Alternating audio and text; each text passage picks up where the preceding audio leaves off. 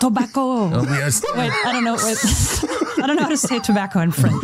They're writing to each other and corresponding and setting Wait, up they. experiments. They. Boyle, Gassendi, um, Newton, Leibniz, Mm-hmm. um, the the people who were still philosopher physicists in the 1700s and 1800s.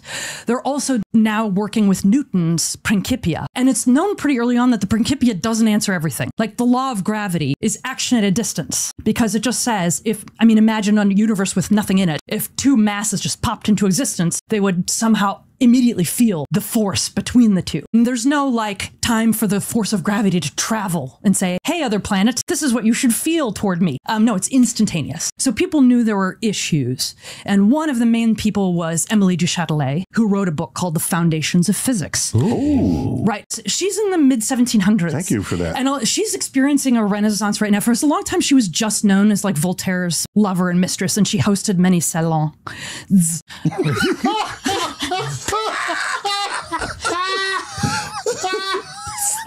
Salong.